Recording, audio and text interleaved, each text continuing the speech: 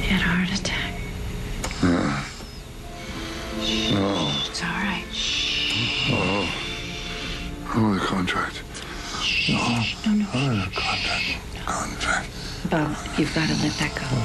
Put it out of your mind right now. You're not well.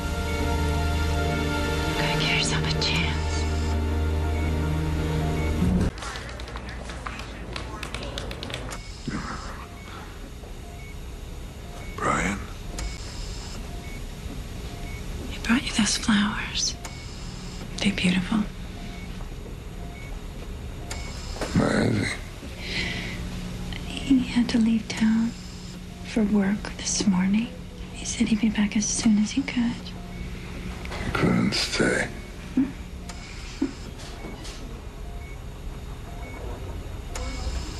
Dr. Shushan, I saved his life.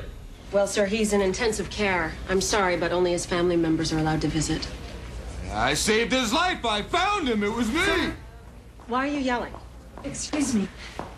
I'm Dr. Shushan's wife. I am James Jones. Yes. I'd like to thank you for what you did, Mr. Jones.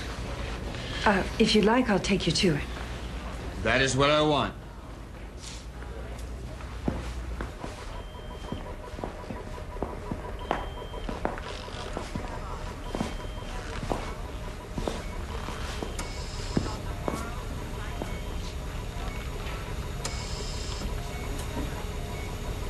He's very sick, James. He's lucky you found him. Shushan will live. It's not his time to join the Great Spirit. Um, they say that his heart will make little blips. James.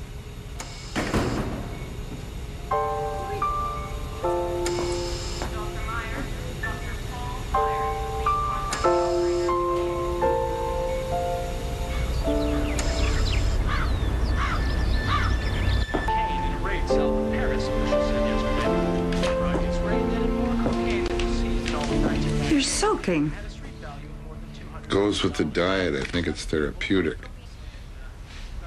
I almost lost you. I don't think we have another chance if this happens again. Fine, Mary. Your food's in the fridge. I'll be back soon. I'll stop by the shop and pick up the car if it's ready. How long are you gonna be? I don't know, a few hours. Call Brian. Why don't you call Brian and tell him to call me? Call Brian.